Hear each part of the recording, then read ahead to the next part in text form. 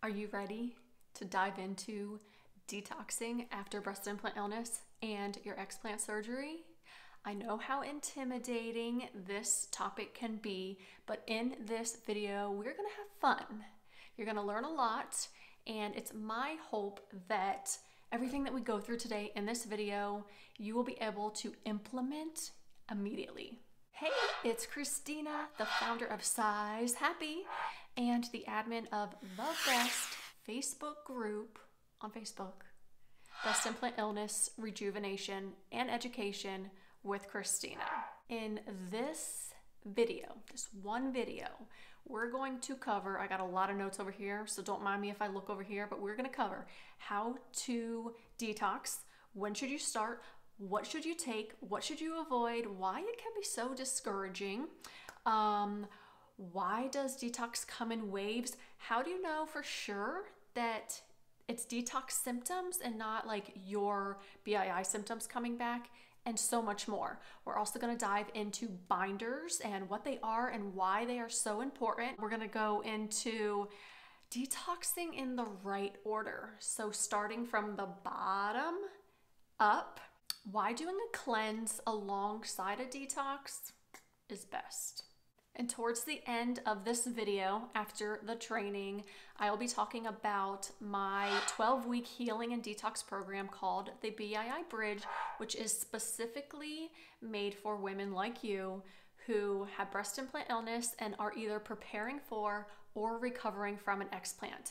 Basically, everything in this video is inside of that program. So if you're feeling like, wow, this is a lot of information and it's really great, but I would love to work alongside somebody who just kind of gets me and she's gone through it and like has everything laid out, then we can talk about that later. But I just wanted to throw that out there. Before we get into everything, I want you to go grab a piece of paper and a pencil or something that you, you know, if you like type in, something to type with, because you will want to take a lot of notes if you are serious about going through a detox and like learning what you should be doing and avoiding and, you know, when you should be starting and the whole shebang. So I will wait right here. Just hit pause and come back and we will get into it.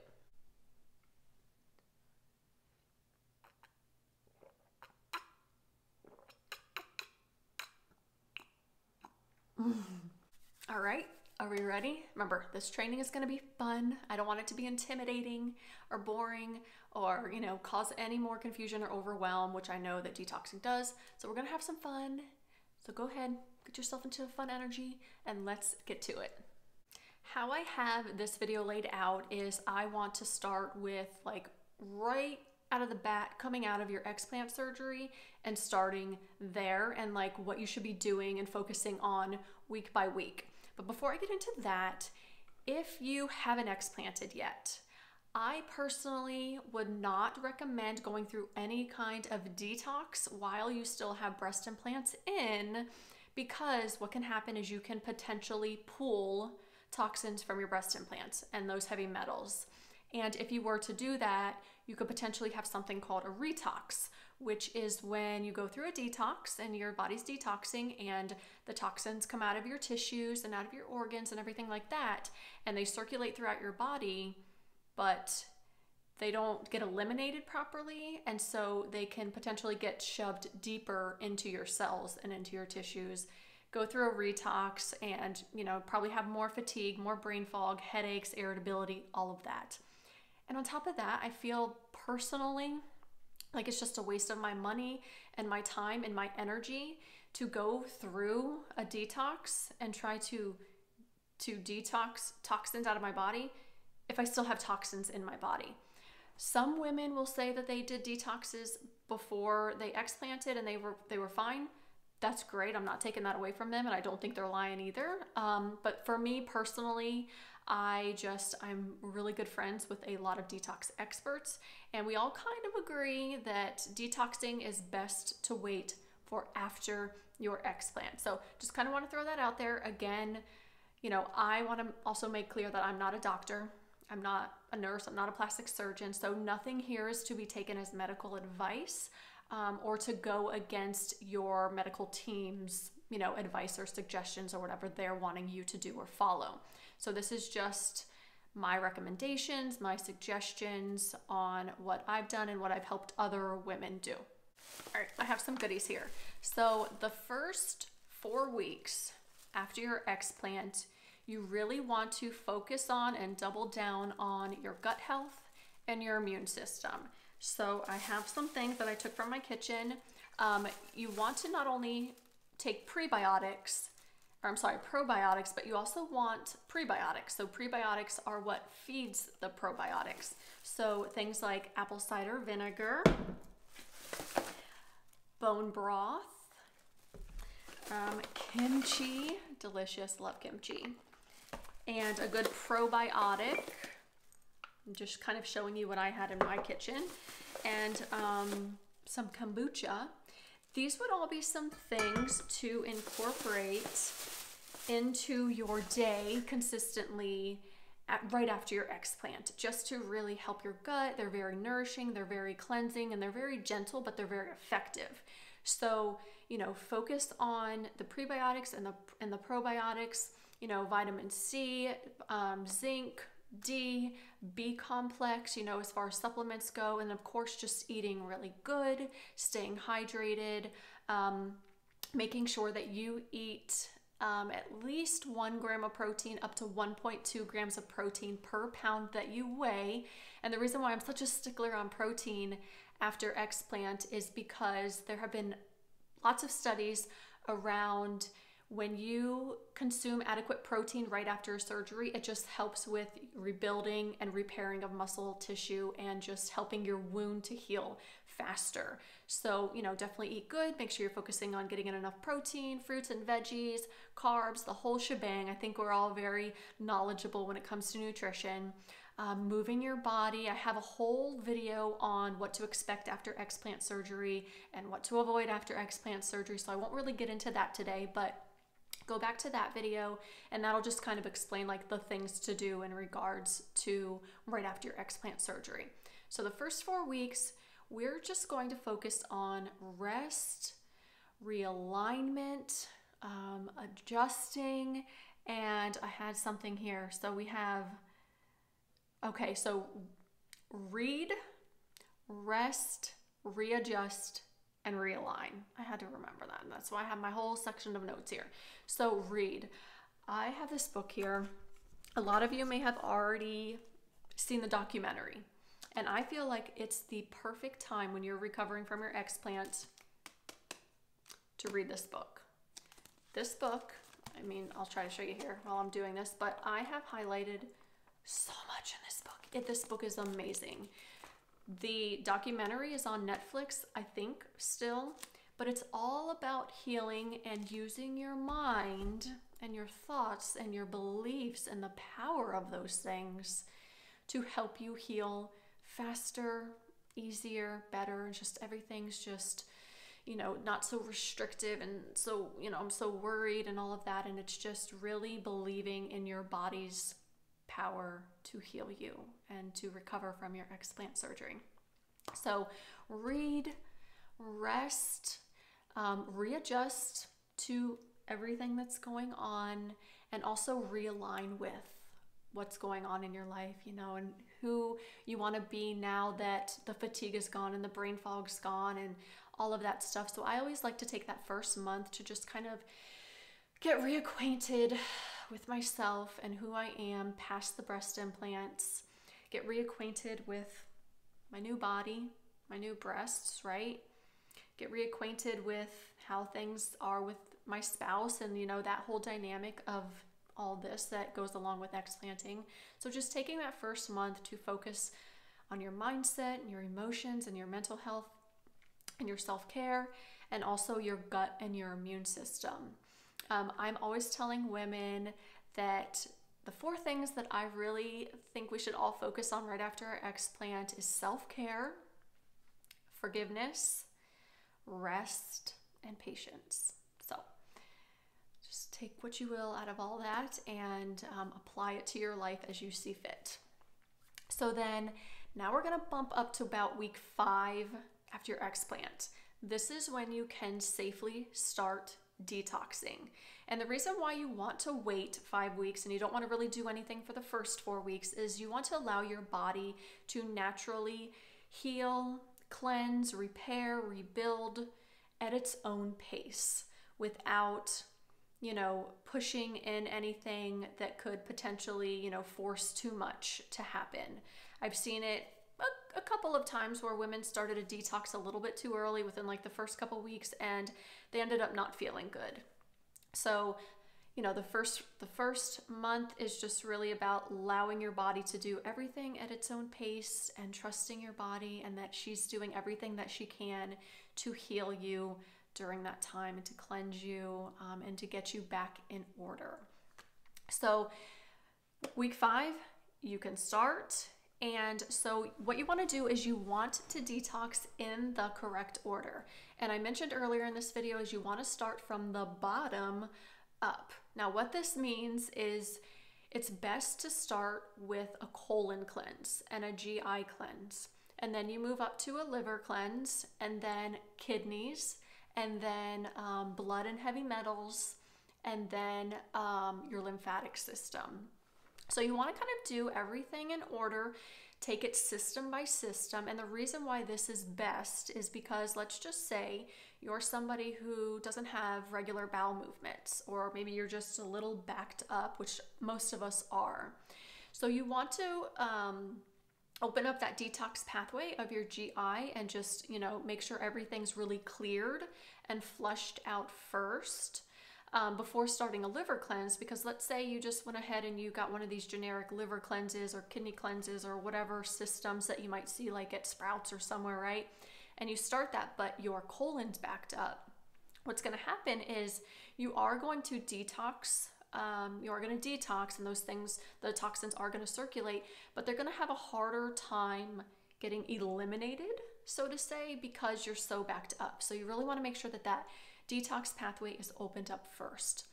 Um, this is when you focus on like digestive enzymes and your probiotics and really taking care of your prebiotics and gently flushing everything out. Then you want to move up to the liver and work on that system. Um, in the BII bridge, we do the GI colon cleanse for two weeks, then we do the liver cleanse for one week, and we focus on like milk thistle and dandelion um, and liver nourishing uh, foods. And then we will move to the kidneys. We do the kidneys for one week also, and we'll incorporate foods like grapes and cranberries and raspberries. Um, I feel like I'm forgetting a couple, but just some really powerful kidney nourishing foods alongside of some um, supplements. And then from the kidneys, you will work on the blood. And I'm going to show you, this is one of, it's just my go-to and it's recommended in the BII bridge, but it's burdock root. This is a powerful but gentle um, blood purification supplement out there.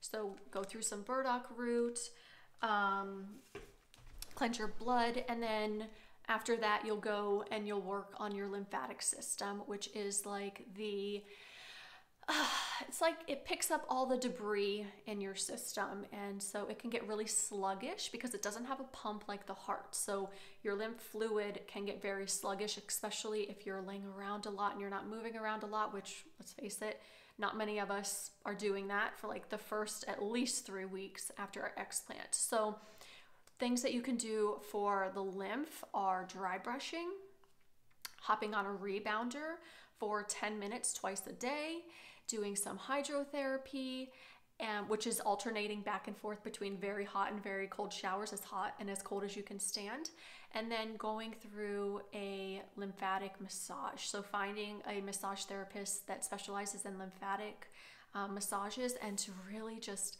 get those lymphatic systems or lymphatic the lymphatic juices going throughout your body and just picking up um, all of that debris. So that's how we would do it um, in the BII bridge. That's how you should do it in general, whether you go through it or not. But you want to work system by system, working from the bottom all the way up.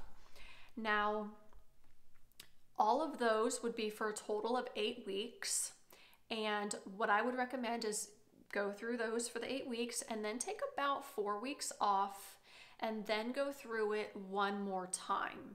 After you go through it that second phase, that you know, that second time, then you can take a whole year off and just follow that like once or twice a year. Really, all you need just to make sure that you're keeping your detox pathways open um, and you're really just helping your body to rid itself of those toxins because obviously not only are the breast implants right here not only are these made up of nothing but toxins but we are bombarded with toxins everywhere in our air in our soil in our food um, i mean it's just it's everywhere Cos- cosmetics household cleaning products all of that so it's just really important to always be doing some kind of cleanse and just nourishing your organs and especially your detox pathways. And so the two areas that I talked about, like in the image of like, don't miss these two things if you're going through a detox. The first thing is binders, which we will get into. And the second thing is your mindset and just the power of your mind and your thoughts and your beliefs. So, first thing is let's get into binders and what they are and why they're so important and a couple of things that you'll want to do or avoid when you're taking a binder. So, a binder is anything. Do I have, uh, let me see if I have a binder here. Sorry. Oh, yeah, okay. So, this is a very gentle binder. It's called activated charcoal.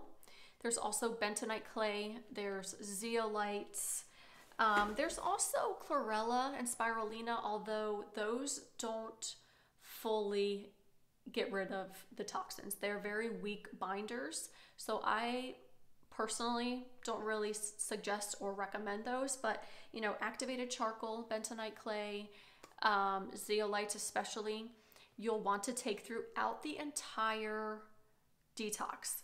So, what a binder does is it literally binds to the toxin and it makes it large enough and heavy enough to be able to get eliminated out of the body. And so, where a lot of women go wrong unintentionally because they just don't know about a binder, they just think, like, I'm just gonna go through the detox, right? So, detox is one part of detoxing, but then there's also taking those binders. So, you'll take a binder the whole time that you're going through a detox.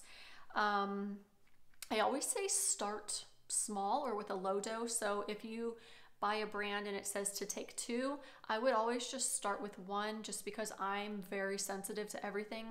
It seems like so I always just take one for a few days just to make sure like it doesn't mess up my stomach or you know I get an upset stomach or I get weird headaches or I get dizzy or just weird symptoms that I get from certain supplements. So just take, take like a half dose for a couple days or if you have like the loose powder, um, then take like uh, like half of a teaspoon and start there. And then you can do like three quarters of a teaspoon, move up to a teaspoon, and um, just keep working your way up. But I always recommend with anything, with any supplement or anything, to always just start with like a half dose and just see how your body responds.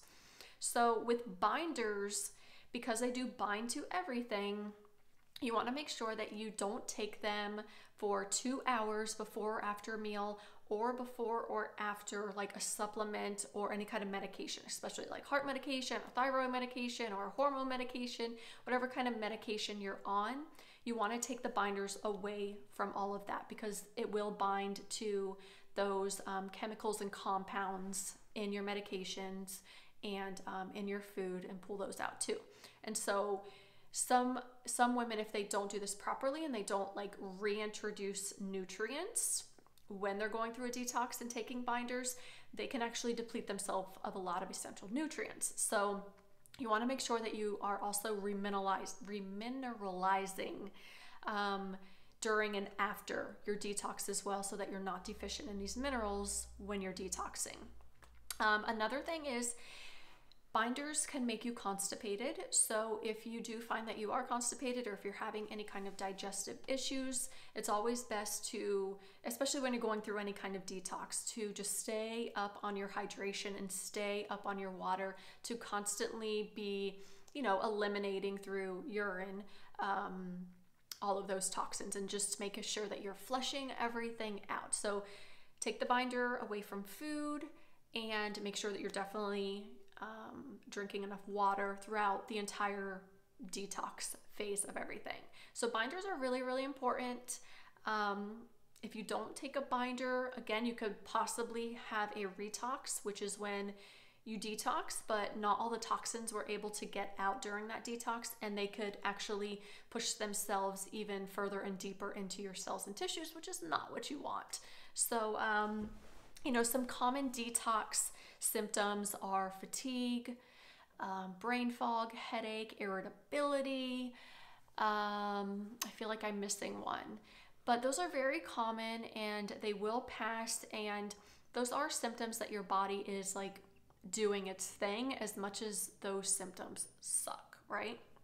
So um, that's that's the gist of binders in a nutshell. If you have any questions about them, a specific brand that you found, anything like that, I'm more than happy to take a look at anything. I just wanted to, you know, keep this very simple as to, you know, what everything is and how to follow any kind of detox. But if you want to get into specifics about anything that I've talked about in this video, please just um, comment under here and I'm more than happy to like get you going with anything that you need getting going with. Um, okay, so now let's get into just the mindset. This is like my jam. This is my thing. Um, because think about this.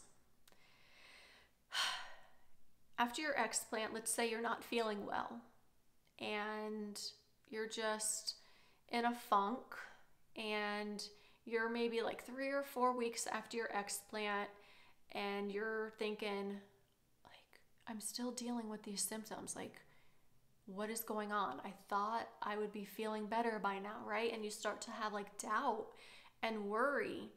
Those doubts and worries, they they transform in our body. Like our body can pick up on the thoughts that are going on in our head.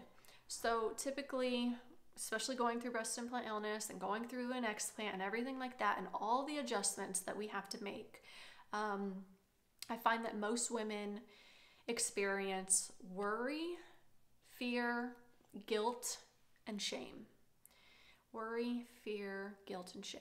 I have felt all of those, like sometimes at once, um, throughout just my breast implant illness journey and preparing for my explant, like just the shame of like, what did I do? The guilt of what did I do? The fear of my surgery, the worry about my surgery. And then after my surgery, of like the worry of, am I going to heal fast enough? The fear of like, what if this doesn't go away? Or like, did I develop an autoimmune issue?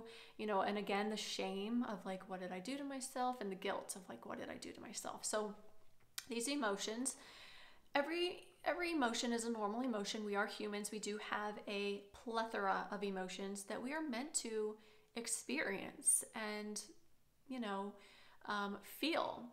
So, after your explant, I know there's going to be some moments, especially if you're going through like a detox flare or if you have an expectation that you should be feeling and healing better and faster than you are at this point, right? When we have those expectations and those expectations aren't met, we can get really hard on ourselves and feel like there's something wrong with us and there's something wrong with our body and we're not doing something right. Like, what are we missing?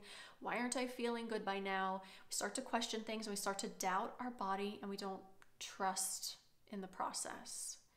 So, starting from day one after explant, and especially on those really hard days, um, just have complete trust in your body that she is doing what she needs to do as fast as she can do it in the order that she feels like she needs to do things, right? So, like, you might feel like, I want my hip joint pain to be gone and the ringing in my ears.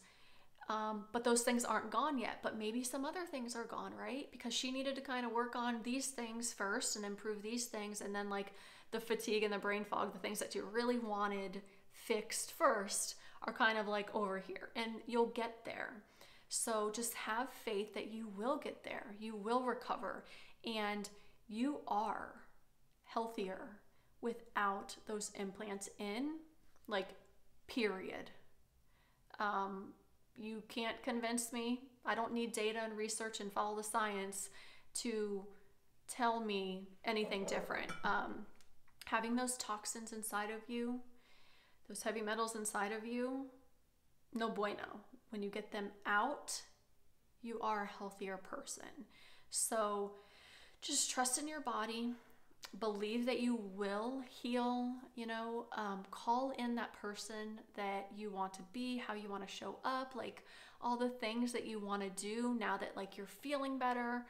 Um, and all of that because I do know, especially if you're going through like a detox flare, that you can just doubt things, right? So, getting more into just gratitude and love and patience and faith and joy um, and all of that. Affirmations are a great way to do this, just telling yourself, like, I am healing, I am safe, and my body is on my side. I am healing, I am safe, and my body is on my side. You know, we will get through this. I will get through this. And just keep like pumping yourself up with positivity. Um, grounding and doing some meditation, um, just really calming yourself and just calling in that faith, calling in that trust, um, and also visualization. I'm huge into visualization, and so like if something's bothering me physically, I will focus in on that area and imagine it healed, imagine it like without pain, and imagine me like let's say has something to do with my lungs or my heart right? And i wasn't able to exercise because of that. I would like imagine myself exercising and get into like what that is going to feel like when i get to exercise again because like my issues are all fixed like maybe my hip joint. I had bad hip joint when i had bii made it really hard to exercise so i would just like visualize and get myself into um you know, me just feeling good and being able to do everything. And I want to make sure that I answered all the questions that you all had for me. Um, so, how do I detox? Showed you that. When should you start? Told you that. Um, five weeks. What do I take? So, showed you all the prebiotics and then also just like vitamin C, B complex, um, probiotics. I know I'm going to miss some. Um, zinc, and milk thistle, burdock root, binders, um, that whole jam. It's all in the BII bridge. Just saying.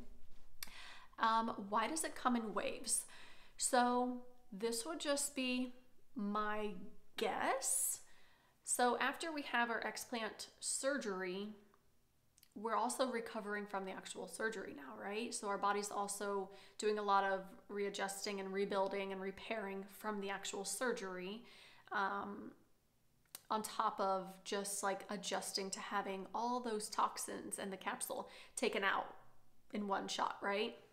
So detox flares, I mean, they can happen for any reason.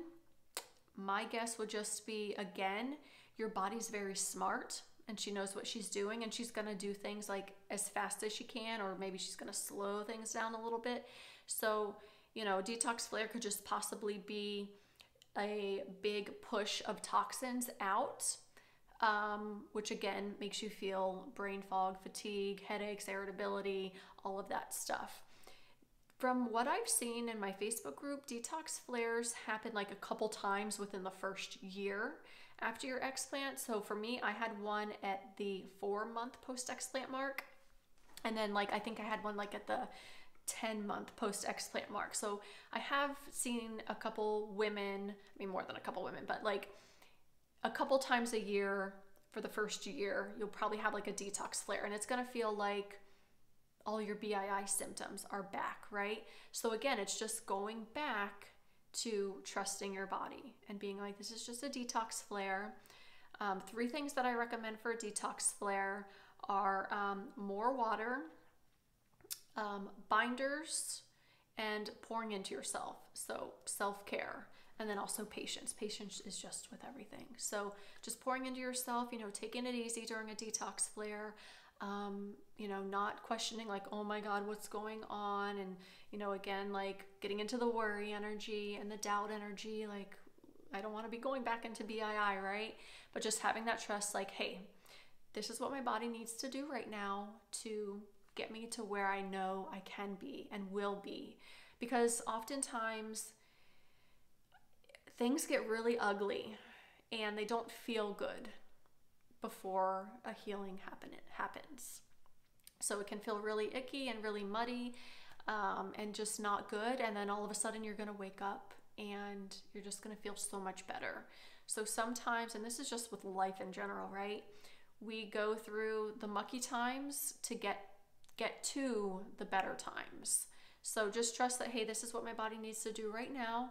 I trust my body. I know you've got this. So let me just help you and I'm going to rest. I'm going to take some binders. I'm going to um, stay really hydrated and just, you know, pour into yourself with some self care and whatever you feel like you're um, up to doing um, ener- energy wise during a detox flare. Um, and that's all the questions that um, came through. Now, I do want to talk about the BII bridge for like two or three minutes. I'm going to keep it brief. So, the BII bridge is a healing and detox program.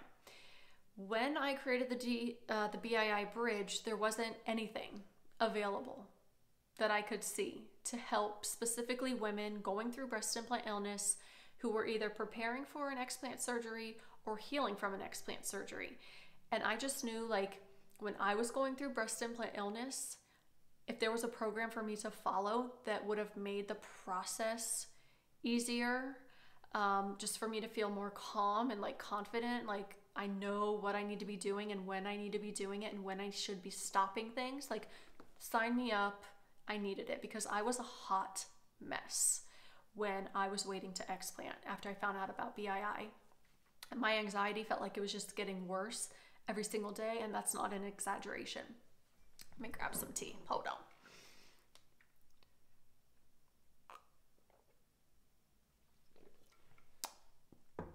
So there's at the time of this video, there's probably like 250 to 300 Facebook groups out there, support Facebook groups, all sorts of Facebook groups for breast implant illness, which is amazing, right? But inside those Facebook groups, you have thousands of members and you have so much advice and opinions and suggestions and recommendation and a lot of times especially on the topic of detox it can be very overwhelming and very stressful. And if you're like me when i get overwhelmed and stressed like i don't even start. I don't even like i don't even do it because i don't even know where to start or what to do. And it's just like hey i have all this information but i don't know how to implement it. Like what's the best you know this to buy? How much of this do i need to buy? Like when do i start this? Is it okay to take there's so many questions right? And so when i created the bii bridge it's just week by week up to your explant surgery what you should be doing um, and then after your explant surgery it's like week by week what you should be doing um, you know in order to recover and heal. Just a lot easier if i'm being honest. So in the pre op phase, which is the fighter phase, that's the preparation phase. And the post op phase is called the warrior phase, and that's the, the healing and the detox phase. So both are 12 weeks long. So I will lead you three months up to your surgery, and then I'm going to lead you three months out of your surgery. Both um, phases talk about, so BRIDGE is actually an acronym for body image, root cause, immune system, um, detox, gut health, and then emotions and exercise. So both phases talk about all that, except the fighter phase does not talk about detox because we don't do detoxing um, while we're waiting to explant. But the warrior phase does go into the BII bridge detox protocol. BII, the uh, warrior phase is actually the most popular phase out of um, both of them. Some women either sign up for both of them or just the, um, the warrior phase for help with the detox. So it is a mind and body program. I have guided med- meditations, visualizations, EFT sessions. I talk about stress and self love and body image and exercise and the importance of moving your body and good sleep um, the immune system and your gut health in both phases. Um, because again, I truly do believe that the mind does have a powerful role in healing the body. And it's one of the aspects that I see a lot of women missing or forgetting or just not realizing how important it is when it comes to healing and recovering from an explant surgery. So, um, you know, we talk about supplements, of course, and nutrition, of course, because those are two very important things in order to heal and get your gut going and your immune system strong and stuff like that. But then there's also the whole other aspect of the emotional side of it and getting your emotions in a really positive place, um, pouring into you with self care and um, you know, I, am all about body image. That's what size happy is. So, you know, we do talk about body image and what it's like to see your breasts for the first time after explanting. So, I will link the program down below. So, if you're like, cool, like this is something I feel like I could do, um, definitely consider going through the BII Bridge program. I'm with you every step of the way, every day, every week, the whole time. It's how I kind of prefer it to be. It's not one of those programs where you sign up and then you never hear from the person that created it and you're like, hello, I have a question, and like crickets. That's not how it is with me. So I want to be with you for the whole time. Um, you know, and I've gone through BII, obviously. I've gone through an explant surgery. So I not only have the knowledge and all of that, I have like the real world experience of going through it and like what that's like emotionally and physically for us. Um, and that's all I got for you today. So if you found this video helpful in any way, if you learned something new today, then, then definitely, I got a little twang there with my then, then definitely consider um, subscribing to my channel. And one of the biggest ways that you can support me is if you did find this video specifically to be helpful, then share the URL link inside any of your favorite Facebook groups or Facebook pages that have to do with like breast implant illness and share it in there and just be like, oh my God, I got so much out of this video. It's really helpful, whatever you want to say. Um, but that would really help the channel and it would help me to be able to help more women who are going through this because let's face it, we all need help when it comes to this. I'm three years post explant and I still need help. So um, I think I covered everything today in this video. I know it's been like 40 minutes. We're good, we're good, but we covered a lot. So if you have any questions about specifics of anything, definitely let me know. Comment below, or you can email me at Christina at sizehappy.net and we can talk there. So, hope to see you inside of the Facebook group, Breast Implant Illness, Rejuvenation, and Education with Christina, so we can get to know each other a little bit better. And um, Thanks for watching this video and spending all this time with me.